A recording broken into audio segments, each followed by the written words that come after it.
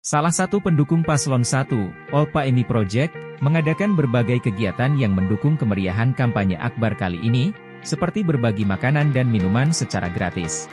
Pernak-pernik pun juga diberikan dengan berbagai gambar Anies Baswedan, mulai dari hand banner, stiker, photocard, hingga postcard. Jadi uh, OPMI Project ini kan dibentuk tanggal 4 Januari 2024 ya uh, di X ya di aplikasi X. Nah tujuannya, jadi tujuannya itu didirikan tujuan didirikannya OPMI Project itu uh, yang pertama untuk mendukung Pak Anies secara personal karena telah menginspirasi ya kan, menginspirasi para humanis khususnya.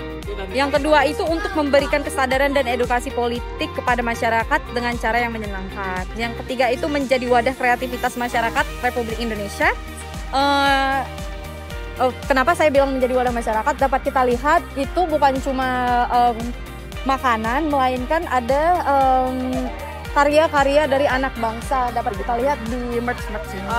Di sini dapat kita lihat ada Hall of Fame ya, uh, itu uh, perjalanan hidupnya Pak Anies. Ada banner-banner juga untuk menampilkan uh, prestasinya Pak Anies. Selanjutnya ada TV ya, uh, itu TV-nya itu menampilkan uh, Videotron yang pernah oh, kami uh, yang pernah kami ini ya yang pernah kami tampilkan tampilkan ya. di kota-kota di Indonesia. Selanjutnya itu ada food truck ya khususnya ini uh, apa yang merupakan signature ya dari OPM Project uh, ada food trucknya. Selanjutnya ada merch gitu.